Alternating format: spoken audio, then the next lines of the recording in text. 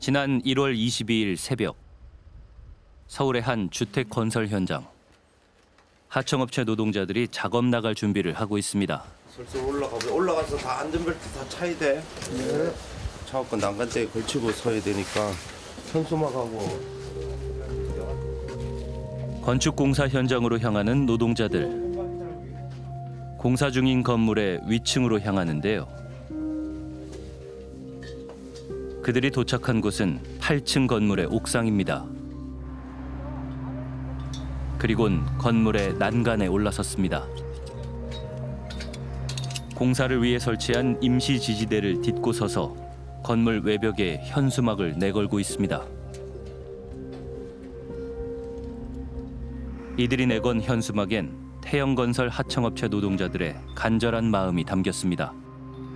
우리가 의견을 표명하려고 플랜카드를 걸고 작업하고 있습니다. 당장 애기 밥값이나 지금 반값 못 내는 사람도 많아요. 이것 때문에 신용불량 된 사람도 있고 이거 명확히 답을 줘야지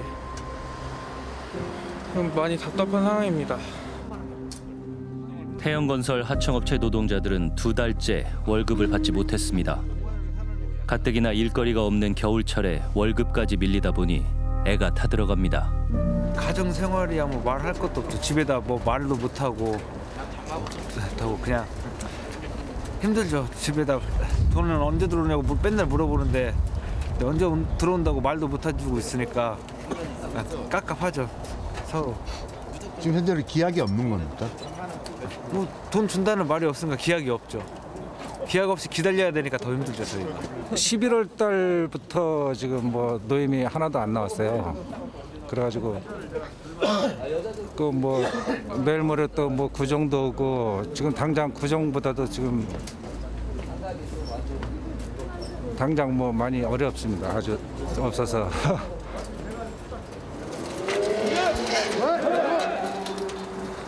긴급처벌 자유로는 태양건설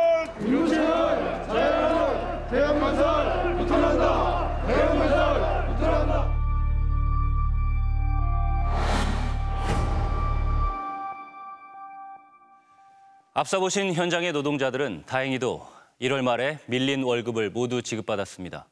하지만 여전히 일을 하고도 월급을 받지 못한 사람들이 많습니다. 고용노동부의 발표에 따르면 지난해 임금 체불액이 1조 7,845억 원으로 역대 최고치를 기록했는데요. 보시는 것처럼 임금 체불액이 2022년에서 2023년 사이에 급격히 증가한 것을 확인하실 수 있습니다. PD수첩은 최근 임금 체불 실태를 취재하던 중 노동자를 압박하는 수단으로 임금 체불이 이용되는 사례를 접할 수 있었습니다. 월급을 받지 못하다가 결국 죽음을 선택한 한 택시기사가 있습니다. 도대체 무슨 일이 있었던 걸까요?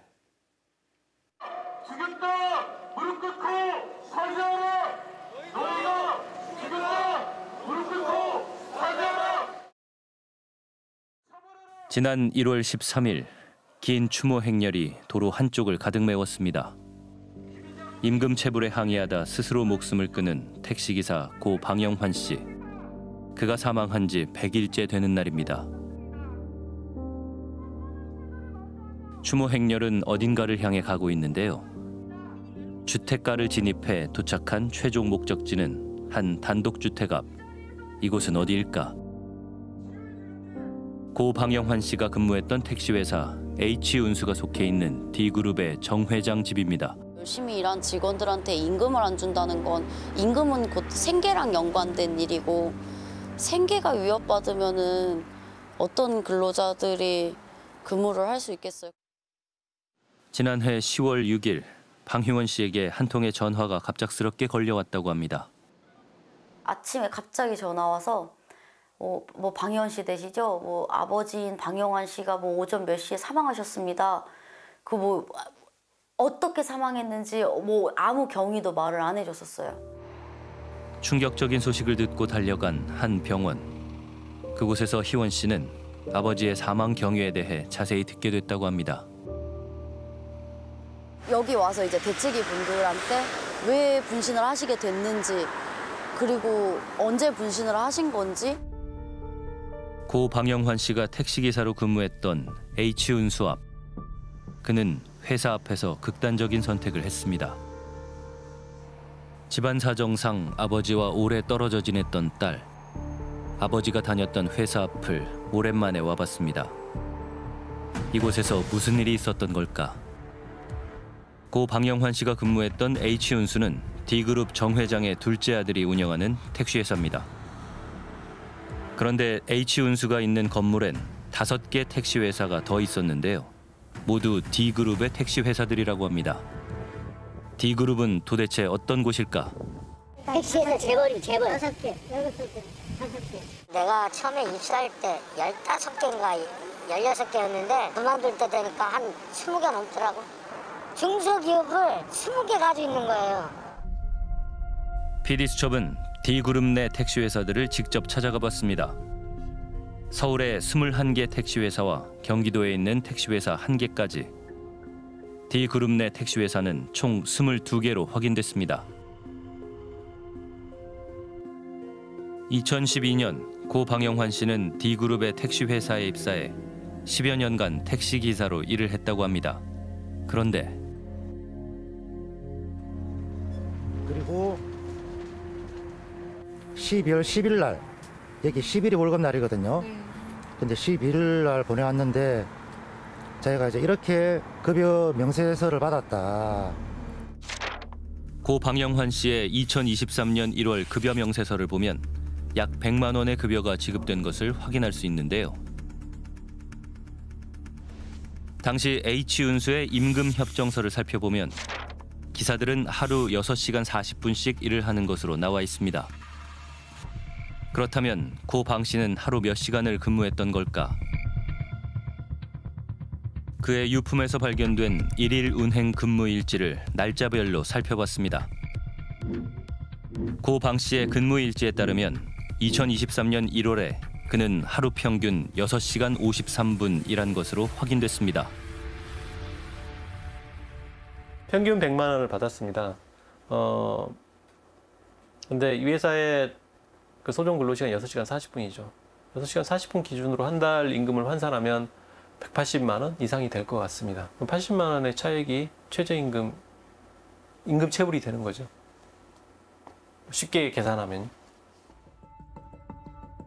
다른 달에는 월급을 얼마나 받았을까? 같은 해 2월에는 약 100만 원을 받았고 다른 달에는 월급으로 100만 원도 채 받지 못했습니다.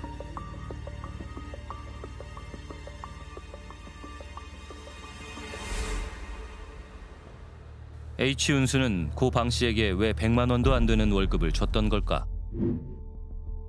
회사 측은 방 씨가 작성한 2019년 최종 근로계약서에 따라 월급을 지급했다고 합니다. 2019년 근로계약서를 살펴보면 기본 근로시간은 3시간 30분. 이것으로 시간당 최저임금을 계산해 근로일수를 곱한 총액이 월급이라는 것. 그런데 노무사는 이 계약서에서 눈여겨볼 점이 있다고 합니다. 어, 어쨌든 근로 시간에 따라서 임금이 지급돼야 되지 않습니까? 그러, 그러니까 아예 근로 시간, 소정 근로 시간 자체를 줄여버리는. 실제로는 출근해가지고 택시 몰고 나가서 다시 돌아올 때까지 한 10시간이 걸린다 하더라도 그 노사 간의 합의 속에서는 하루에 3.5시간, 4시간 이렇게 일한 걸로 합의한 거예요. 실질적으로 3시간 반, 4시간 이렇게 일하는 게 아닌데 그렇게 합의하는 것 이거는 어쨌든 제도의 취지상으로는 무효라고 봐야 된다라고 저는 봅니다. H운수는 택시기사들과 매년 근로계약을 새롭게 체결했다고 합니다. 그런데 방 씨는 2022년 근로계약을 거부해 직전 근로계약에 근거해 월급이 지급됐습니다. 그는 왜 2022년 근로계약을 거부했던 걸까? 계약을 할 당시에 방 씨가 회사 측과 나눈 대화 내용입니다. 여기 이제 보면 산학금제, 비중금제 이런 게 있을 때는 절대 어, 승낙이 안 되는 거예요. 저는 전액 관리제를 하겠다 이렇게 지금까지 나가고 있고 여기 월, 뭐 기준 일일 산업이라는 표현은 안 되어 있고요 성과급 상정을 위한 월 최저 운송 피금이라는 건 들어가 있습니다 중앙에도 그 금액이 명시가 돼 있고 토탈 금액 그 금액은 저희도 명시가 돼 있어요 그런데 그 자체가 불법이지 않습니까? 하루에 손님을 몇 명 태우든 택시기사가 의무적으로 회사에 꼭 내야 하는 돈이죠. 산업금. 택시업계 고질적 병폐였던 산업금제가 올해부터 폐지가 되고 택시기사들에게 부담을 줬던 산납금 제도가 폐지되고 운행 수입을 모두 회사에 납부하고 기사들이 월급을 받는 전액 관리제가 2020년 1월부터 시행됐습니다. 정부에서는 유사 산납금 형식의 제도 또한 금지했습니다. 그러나 2022년 H 운수의 근로계약서엔 유사 산납금 형식의 근로 조건이 있었던 것. 하루에 소정 근로시간 6시간 40분을 달성하기 위해서는 뭐 타, 어, 택시의 타코미터를 일정 시간 이상 가동해야 된다는 기준이 있고 그리고 최저 운송 수익금이라는 이것을 달성해야 되고 이걸 달성하지 않으면 징계한다는 그런 내용도 담겨 있었어요. 그 여러 가지로 보면 산학금제를 일부 변형한 내용의 어, 계약서로 보입니다. 변형된 산학금제라고 하는 건데요. 이러한 근로계약을 거부한 방 씨. 그는 임금협정서에 나온 대로 하루 약 6시간 40분씩 일했습니다. 그러나 회사 측은 최저임금에 훨씬 못 미치는 약 100만 원의 월급을 지급했습니다. 모자란 생활비를 벌기 위해 방 씨는 여러 아르바이트를 병행해야 했습니다. 세탁 공장. 세탁 공장에서 한 3개월. 세탁 공장에서 한 달 이상을 일하는 사람이 거의 없다더라. 그 정도로 계속 반복적으로 세탁물을 갖다가 올리고 내리고 하는 근데 자기는 3개월 버텼다. 라고 자랑을 하기도 했고 학원차를 이제 또 몰기도 했었어요. 그러면서 이제 생계를 좀 이어갔고요. 떨어져 살았던 딸은 아버지가 돌아가신 후에야 어려웠던 형편을 알게 됐다고 합니다. 진짜로 밀키트 먹는 날이 대부분이었고 아니면은 편의점에서 긁은 거 몇천 원. 음, 모르게 막뭐 1,900원 막뭐 이런 금액들이라 못 받은 임금을 받기 위해 회사 앞에서 시위를 시작한 방 씨. 체불 임금 약 900만 원 지급과 완전 월급제를 주장했습니다. 25일 망근 성실히 근무했습니다. 그럼에도 불구하고 그 사업주는 급여를 100만 원밖에 지급하지 않고 있습니다. 방 씨와 회사 측의 갈등은 끊이지 않았는데요. 그러던 어느 날 시위하던 방 씨 앞에 H 운수 사장이 나타났습니다.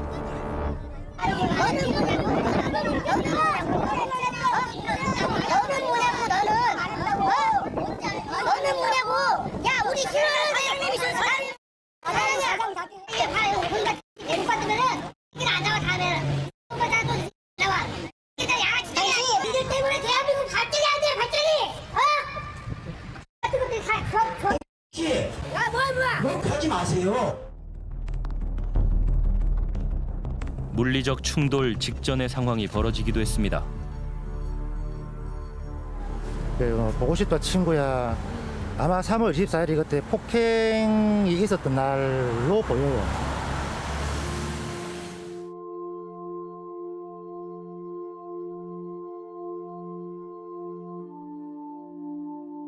자신의 노동에 대해 정당한 대가를 받고자 했던 방 씨. 자신이 겪은 임금 체불 상황을 관련 기관들에 알려 도움을 받고자 했지만 달라지는 건 없었습니다. 추석을 사흘 앞둔 지난해 9월 26일 오전 8시 30분경 H 운수 앞 어머 어떡해 언니 빨리 신고해줘 신고 황영환 씨가 분신을 시도했습니다. 1인 시위를 한 지 227일째 되던 날이었습니다. 전신에 화상을 입은 방 씨는 119 구급대원의 도움을 받아 인근 병원으로 옮겨졌습니다. 그 주변 말로는 불을 당기기 전에 잘 살아라 라고 했다고 저, 제가 들었거든요. 그 정도면 뭐 어떻게 어떻게 표현을 해야 될까? 체념? 포기?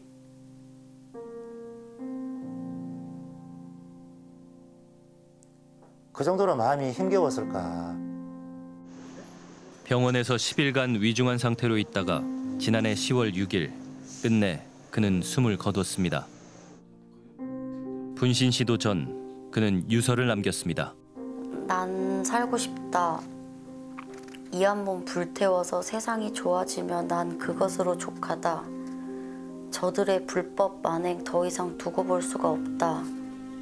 저들이 말하는 계란으로 바위치기라고 하는 말이 난 알고 있다. 저들의 횡포가 나를 너무너무 힘들게 하는구나. 우리 아빠는 죽고 싶어서 시위를 한 게 아닐 거다. 정말 살고 싶으셨을 거다. 그냥 아빠의 살아생전 모습을 보면 정말 살고 싶어 하는 사람이었다. 그런데 PD 수첩은 취재 중에 D그룹 택시 회사에 대한 또 다른 제보를 들을 수 있었습니다. D그룹 내 S교통이라는 회사에서 근무했다는 택시 기사들. PD 수첩이 확인한 바에 따르면 D그룹은 정 회장을 중심으로 세명의 아들과 조카가 함께 22개의 택시 회사를 나눠 운영하는 가족 경영 체제입니다.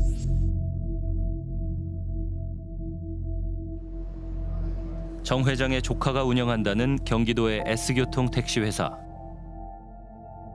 택시 기사들은 S교통에서 임금 체불을 당했다고 주장하는데요. 네, 저 같은 경우는 한 4,700 정도 됩니다. 4,560만 원 정도. 저 같은 경우는 4,500 정도. 저 같은 경우에는 한 3,200 정도 됩니다. 이거 참고로 보시죠. 기사들은 자신들과 같은 택시 기사들이 더 있다며 116명의 명단을 보여줬습니다.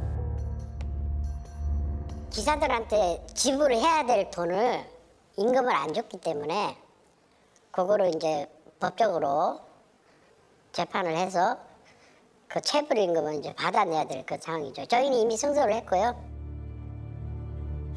S교통의 116명 택시 기사들이 회사 측을 상대로 임금 체불 소송을 제기했는데요. 1심에서 택시 기사들이 일부 승소해 회사 측이 돈을 지급해야 하는 상황입니다. 기본금은 60만 원을 그냥 픽스해 놓고 60만 원에 맞춰서 근로시간을 계속 줄여 나가는 거예요. 기사님들이 보통 하루에 한 16시간, 17시간 이렇게 근무를 하시거든요. 예, 근데 아무리 많이 근무를 해도 임금협정서에 명기하는 근로시간을 2시간 반까지 줄여버려요. 고 방 씨가 근무했던 H운수처럼 S교통도 고정적으로 지급하는 기본급을 줄이기 위해 기본 근로 시간을 줄였는데요. 판결문에 따르면 계약서상 기본급을 계산하는 기본 근로 시간은 4시간에서 2시간 30분까지로 줄었습니다. 기사들은 기본 시간을 초과해 근무한 부분을 제대로 인정해 달라고 주장합니다. 뭐 일뭐 8시간부터 보통 한 12시간까지 하는데 그게 한 달로 따졌을 때뭐 100만 원, 어떤 달엔 150만 원, 어떤 달엔 130만 원. 그럼 월급 날 너무 허망해요. 경기도 해당 지역에서 규모가 가장 큰 택시 회사인 D그룹의 S교통. 택시 회사는 늘리는데 밀려서 재판에서 승소해서 저희에게 지급해줘야 될 임금은 아예 발이 없습니다. 이거는 주기 싫다는 말보다 더한 거라고 생각을 하고 있어요. 당연히 줘야 될 걸 안 주고 소송을 걸게 만들고 소송에서 기, 기사들이 이겼음에도 불구하고 내몰라라 하고 다른 회사는 하나씩 하나씩 더 키워가고 택시 기사들의 주장에 대해 S교통에서 입장을 밝혔습니다. 아직 판결도 아직 안 났고 싸움 계속 싸움 중이고 회사가 떼먹은 돈이 없어요 기사들한테 10여 년 전부터 공격적으로 택시회사 인수 경영을 하면서 몸집을 불려간 D그룹. 택시 보유 대수만 해도 약 2,100대나 됩니다. 수도권 지역에 LPG 충전소 3곳과 자동차 정비소 한곳을 운영하며 서울과 경기도에 호텔 9곳을 소유하고 있습니다. 웨딩홀도 가지고 있는 것으로 확인됐습니다. D그룹은 다양한 사업에 진출하며 사세를 확장하고 있습니다. 사용자가 이 지출의 우선순위가 있는 거죠. 직원들 임금부터 해결해야 된다라고 하는 인식이 안 돼 있는 거죠. 임금 체불이라고 하는 게 심각한 어떤 범죄라고 하는 사회적 인식이 안 돼 있는 문제. 노동자가 임금 체불과 같은 피해를 당하면 노동청에 진정이나 고소를 통해 신고할 수 있습니다. 고 방영환 씨는 사망 전 최저임금법 위반에 따른 체불임금 등 H운수 사장의 법 위반 사항들에 대해 노동청에 진정을 했습니다. 3개월 후 노동청은 H운수 사장에게 혐의 없음 처분을 내렸습니다. 그 후 방 씨는 H운수 사장의 법 위반 사항에 대해 2차로 또 한 번 고소를 했습니다. 그런데 고소 결과 기소 처분이 내려졌습니다. 1차 진정 때와 똑같은 사항에 대해 다른 판단이 나온 것. 아 정말 말도 안 되는 어이없는 판결이죠. 애초부터 처음서부터 잘 봤다면 회사가 아무리 괴롭히고 뭐 어, 그렇게 막무가내라고 하더라도 고용노동청에서 그걸 바로 자, 바로 바, 바로 어, 짚어내고 적발해내고 했더라면 보이는 희망이 그래도 있었을 거 아니에요. 이걸 가지고서 그럼 저는 자살하지는 않으셨을 거라고 생각해요. 특히나 부진하기 직전인 며칠 전에 어, 이것을 항소하는 고소장을 접수하시고 분신하신 거거든요. 해당 노동청은 1차 진정 당시 취업 규칙 변경 사실을 인지하지 못한 채 판례에 따라 결론을 내렸고 2차 고소 사건을 조사하는 과정에서 변경된 취업 규칙을 확보해 그 판단이 달라진 것이라는 입장을 밝혔습니다. 해당 노동청의 답변에 대해 고 방영환 씨 유족의 대리인은 아쉬움을 표했습니다. 어, 취업규칙 신고 의무가 있는데 어, 시- 신고하지 않는 경우도 꽤 많아요. 그러- 그러면 노동청에서는 당연히 새롭게 바뀐 취업 규칙이 있는지 현장 조사를 한다거나 자료 요청을 했었어야죠. 적극적으로 하지 않았던 것 같아요. 고 방영환 씨 사망 후 H운수 사장은 폭행 및 협박, 집회 방해 혐의 등으로 구속됐고 현재 재판을 받고 있습니다. H운수는 고 방영환 씨 사건에 대해 회사는 임금을 체불한 사실이 없으며 중앙임금협정서를 기반으로 임금협정 및 근로계약을 체결하고 근로기준법, 여객자동차 운수사업법 및 택시발전법을 준수해 임금을 지급하고 있다고 밝혔습니다. 택시기사 고 방영환 씨의 명복을 빕니다. 고 방영환 씨 사건 이후 서울시는 D그룹 내 21개 택시회사의 임금 지급 실태에 대해 긴급 점검을 했는데요. 방 씨가 근무했던 택시회사를 포함한 D그룹 21개 회사에서 임금 공제와 같은 법 위반 사실을 확인하고 과태료 부과 등 행정 처분을 검토 중이라고 밝혔습니다. 그런 가운데 한 대학의 교수 7명이 마이너스 월급을 받았다며 PD수첩에 제보를 해왔습니다. 이들은 어떻게 마이너스 급여 명세서를 받게 된 걸까요? PD수첩 인터뷰 장소에 나타난 7명의 대학 교수들. 그들은 오랜 기간 임금 체불을 당했다고 주장했습니다. 저는 임금 체불액이 1억 4천 정도 됩니다. 네, 저는 임금 체불액이 1억 5천 정도 됩니다. 약 1억 1천만 원 정도 됩니다. 약 2억쯤 됩니다. 1억 7천만 원 정도 됩니다. 이 1억 천 정도 됩니다. 저는 임금 체불액이 한 1억 3천만 원 정도 되는 것 같습니다. 개인 또는 법인의 각종 세금 신고와 관련된 세금 계산서 대신해 주거나 자문해 주는 세무 서비스를 제공하는 기업이 회계와 결산 업무가 바르게 행해지도록 이들은 모두 한 특성화 전문 대학의 전임 교수들입니다. 22년 7월 급여 명세서입니다.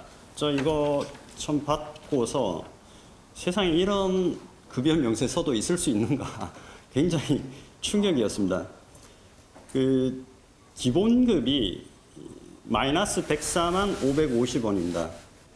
그 기본급이 어떻게 마이너스가 나올 수 있는가 이것도 충격이었고 교수들의 급여 명세서를 살펴봤습니다. 기본급이 마이너스 약 104만 원, 그리고 최종 급여는 마이너스 약 271만 원. 한 교수의 기본급은 마이너스 30만 6천 원에 최종 급여는 5만 8,200원. 도대체 이런 급여 명세서는 대한민국에 없을 것이다라는 생각이 듭니다. 대한민국뿐만 아니라 전 세계에도 없겠죠. 전 세계에도 없을 것 같습니다. 전 세계. 그 당시에 수업을 하셨나요? 수업을 하고 했죠? 예, 예. 2022년이면 우리가 강의했죠? 예. 예, 예.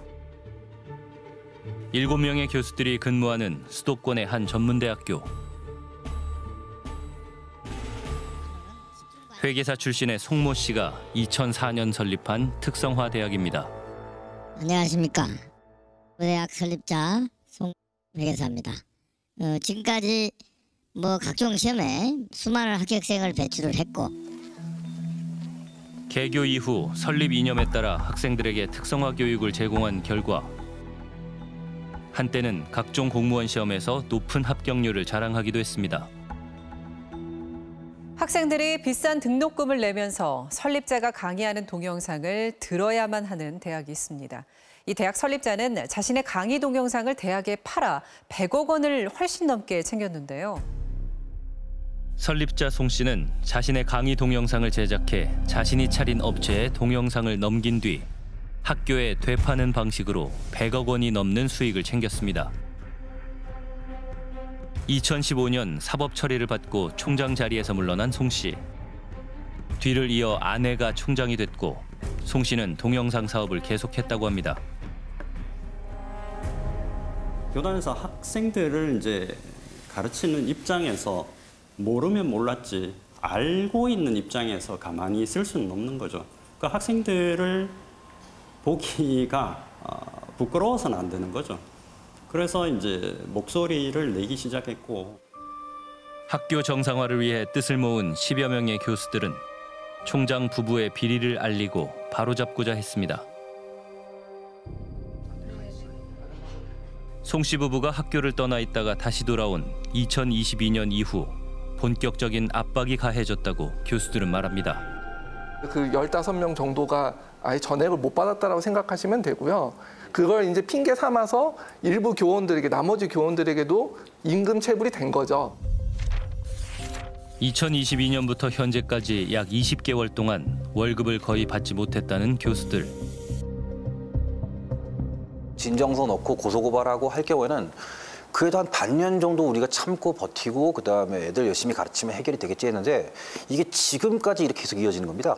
그러니까 괴로울 수밖에 없고요. 대부분 대출로 생활을 하고 계시죠. 그 2020년, 21년까지 그 업적 평가의 근무 성적이 보면은 그래도 상위에 있다고 저는 자부합니다.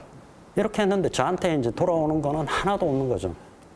보람도 좋지만 일단 기본적으로 어, 생활은 돼야 되지 않겠습니까? 근데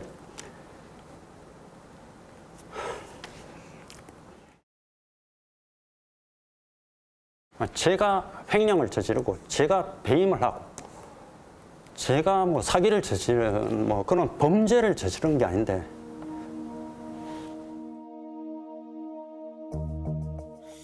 어려워진 형편의 월급을 되찾기 위해 교수들은 학교 통장에 압류 신청을 한 상황입니다.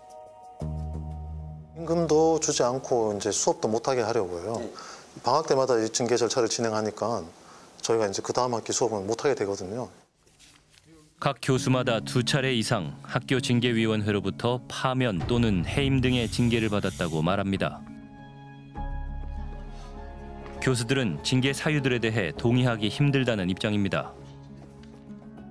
언론기관의 설립자 불법 행위 등을 제보한 것은 품위유지 의무 위반이고 임시이사 파견을 격하게 환영한 것은 복종 의무를 위반한 것이므로 징계 사유에 해당된다는 겁니다. 예전에 그 방송국 같은 경우에 이제 학교 취재를 나온 게 있으니까 지금 하는 것 자체가 우리가 징계 사유인 겁니다. 교수들은 교원 소청 심사와 지위 보전 가처분 신청을 통해 징계 취소 처분을 받아 복직해 왔는데요. 해고 무효 확인 소송을 제기해서 그 해고가 무효다라는 게 이제 확인이 되면은 복직을 시키잖아요. 원직 복직을 시키잖아요. 그 해고 시점부터 복직시키는 시점까지의 그 텀이 있을 거 아니에요. 그 기간에 대해서는 임금 상당액을 지급해야 될 의무가 있는 겁니다. 법적 의무가. 교수님들 사안으로 들어가면 예를 들면 해임 파면을 했어요. 그 시점부터 해임 파면이 무효다라는 게 확인돼 뭐 소청 절차든 법적 절, 그 법원 판단이든 어쨌든 어느 시점에서 판단이 돼서 복직을 했을 거 아니에요.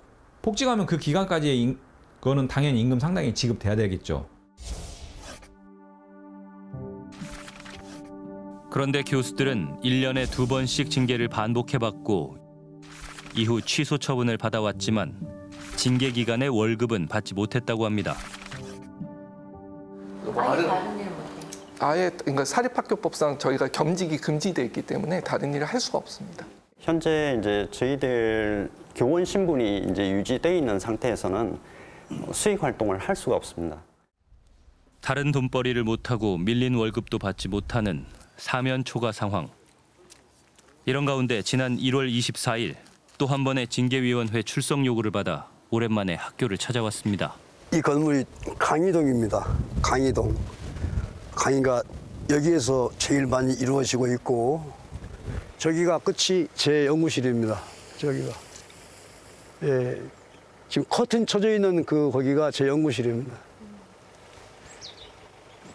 청소도 하고 그래야 되는데 학교 안 나오니까 강의 안 한 지 얼마나 되셨어요? 1년 됐습니다.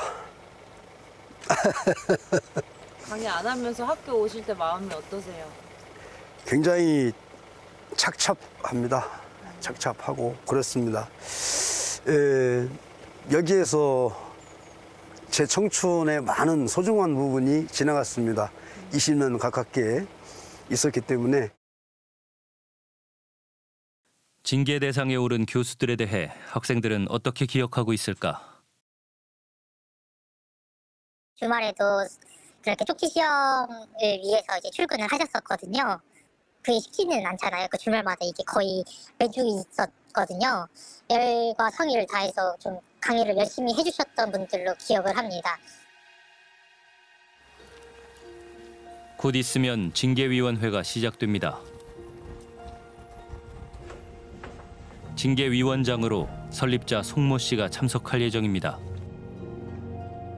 오늘 청문회 자리니까 아, 하고 싶은 얘기 있으면은 하세요. 부당한 이유로 인해서 징계를 받는다라는 거에 대해서는 뭐 인정도 할 수 없거니와 그런 상황이 참 괴롭고 마음이 많이 아픕니다. 부당한 징계가 계속적으로 반복된다고 할지라도 상황이 크게 바뀌지 않을 거라는 것에 대해서 말씀을 드리고 싶었습니다. 징계를 어, 네 글자로 규정하고자 합니다. 예. 적반하장 딱 그 네 글자입니다. 이상입니다. 얼마 후 징계위원회가 끝났습니다. 어, 안녕하세요. 안녕하세요. 저 MBC PD 수첩 이세진 PD인데요. 뭐 하나 여쭤보려고 하는데 그 교수님들 임금 체불 관련해서 지금 소송도 들어왔고 하는데 체불된 임금은 언제 주실 생각이신가요? 아이고 등- 등록금 통장에 풀려야지. 압류되기 전에도 임금 체불이 있었던 걸로 알고 있는데요. 그건 등록금 수입이 없으니까 예, 예. 못 주는 거 아닙니까? 그럼 임금 체불 그거 체불된 임금 주실 생각 없으세요? 줘야지. 아 주실 건가요? 설립자는 교수들에게 체불된 임금을 주겠다는 말을 남기고 자리를 떠났습니다. 학교 측은 이후 서면 답변을 통해 고의로 교직원들의 임금을 체불한 사실이 없으며 수익용 기본재산의 담보대출이 이루어지면 즉시 지급할 계획이라고 전했습니다.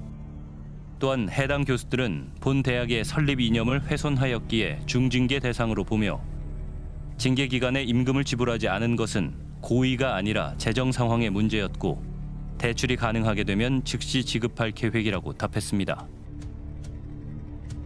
징계위원회 결과가 나온 지난 1월 25일 징계 대상자 7명의 교수 모두 파면 처분을 받았습니다. 한 졸업생은 교수들의 임금 체불 사태에 대해 우려의 목소리를 전했습니다. 임금 체불이 있는 학교에 누가 어떤 좋은 강사와 어떤 좋은 교수들이 들어오겠어요.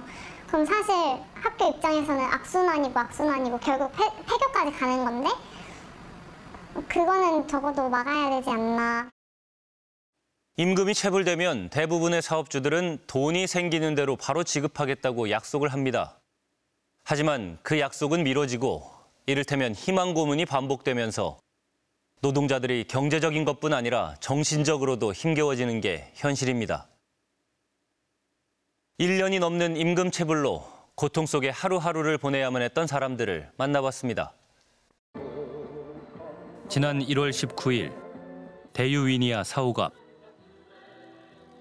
임금처벌로 가정을 꾸릴 수가 없습니다. 임금처벌은 가정을 파괴하는 가정 파괴범입니다. 광주 위니아 전자의 노동자들이 임금 체불 해결을 촉구하는 집회입니다. 집단 살인을 당하고 있습니다. 저희도 내일 또 설인데요. 작년 추석 때도 차비 없어 고향 못 갔습니다. 매년 갔었는데 이번에도 마찬가지고 뭐 고향 안 가도 됩니다. 그런데 당장 우리 급여 생활자 의식주가 돼야 됐으니까 대유 위니아 그룹 계열사들이 줄줄이 법정 관리에 들어가고 있는데요. 계열사는 물론 부품을 납품하던 협력업체 직원들도 밀린 임금을 받지 못하고 있습니다. 경영 악화로 지난해 9월부터 법정 관리에 들어간 위니아 전자와 그 계열사들. 생산 라인은 가동을 멈춘 지 꽤 됐습니다.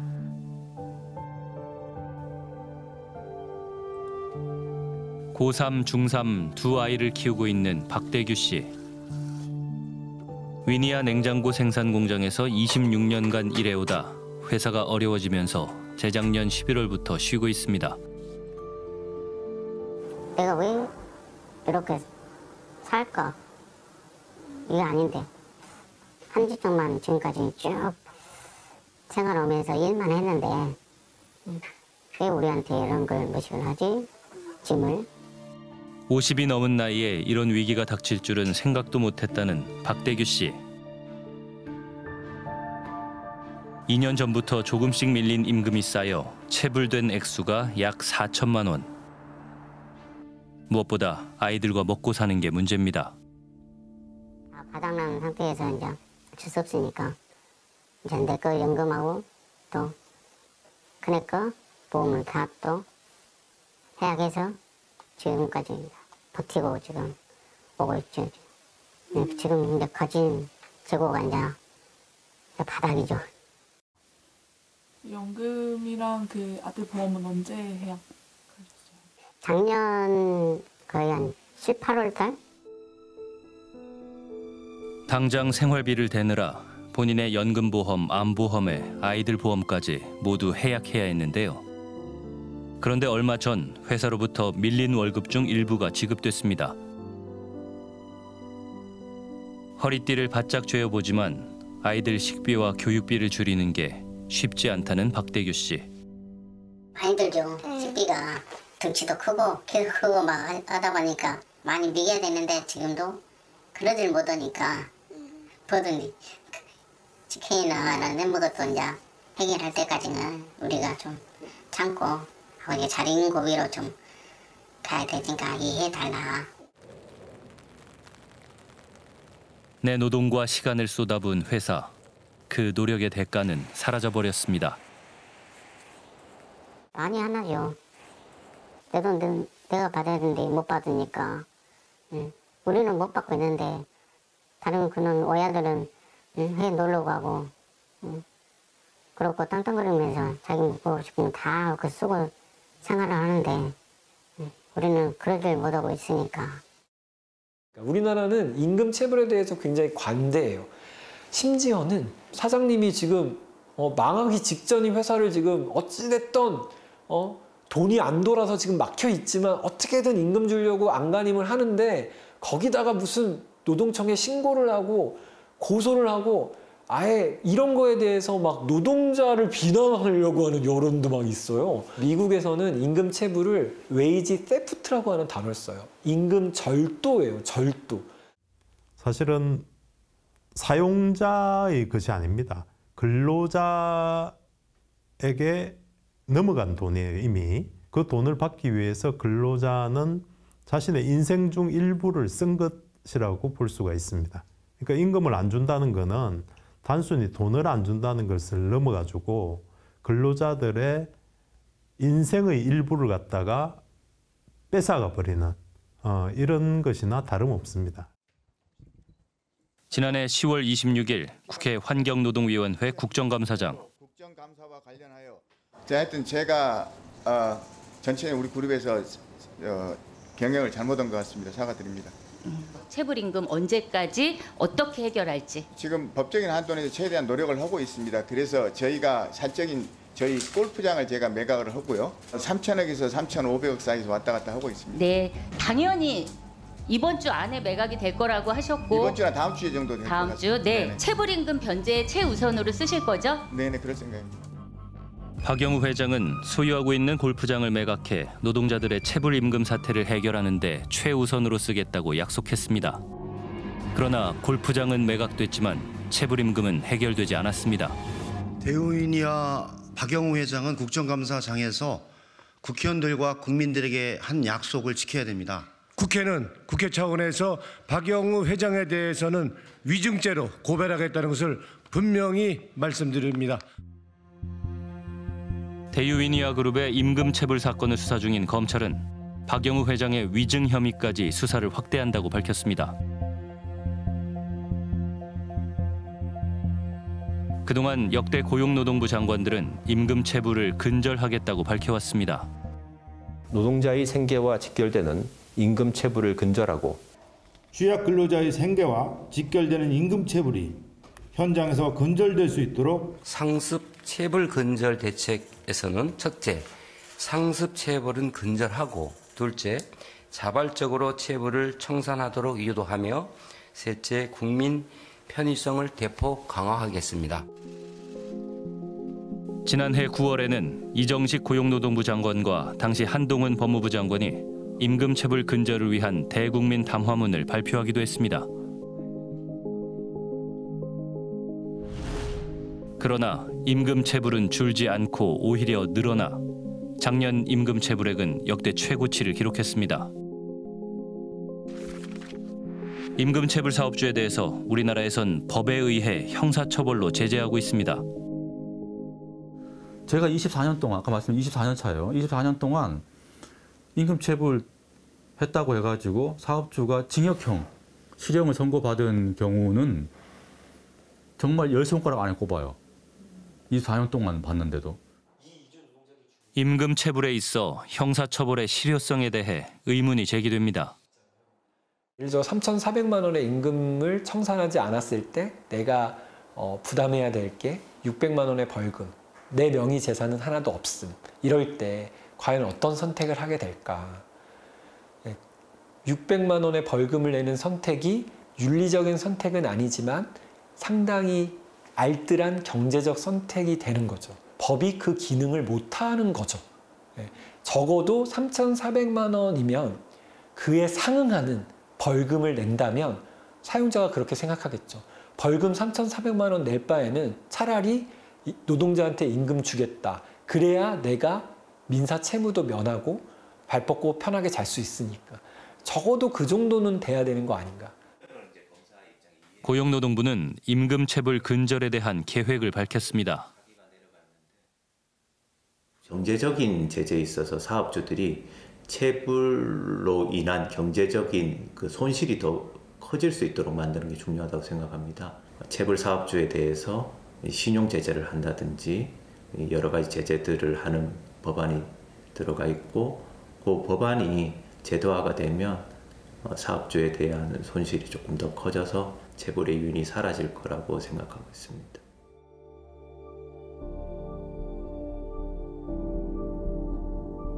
우리나라에서 열심히 일을 하고 급여를 못 받는다는 게 상상이 안 되지 않습니까? 빚 받는 게 아니잖아요. 우리가 일한 거를 받는 것이고 하루에 몇 시간 정도 일하세요? 보통 뭐 13시간에서 14시간. 힘들지 않으세요? 우리는 일을 하고 돈한 푼 못 받고 비참하게 살고 있는데 안 해본 사람은 무슨 줄 몰라요. 2000년도에 일, 거의 1년 동안 무일푼으로 살았잖아요. 그 참 악몽 같은 세상을 살았다고 봐야죠.